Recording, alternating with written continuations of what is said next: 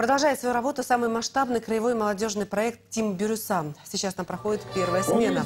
Она посвящена Универсиаде 2019. Кроме спортивной тематики, на одной из площадок обсуждают и секреты телевидения. Наши коллеги, сотрудники редакции новостей и специальных проектов телеканала «Енисей» познакомили всех желающих с технологией телепроизводства и рассказали, как готовятся информационные выпуски и другие программы.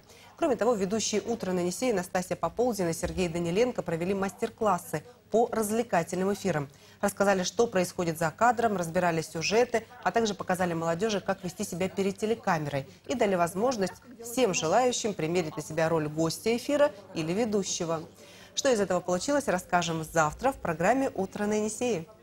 Доброе утро, Красноярск! С вами «Утро на Енисее». Сегодня 9 июля, время 6 по нулям. И в студии Мария Осмачка и мой коллега... Алексей Змеенко. А, И сегодня а, он, а, случилось такое событие. Сегодня открыл- официально открылась смена Универсиада 2019 на территории инициативной молодежи Тимбирюса. Нормально.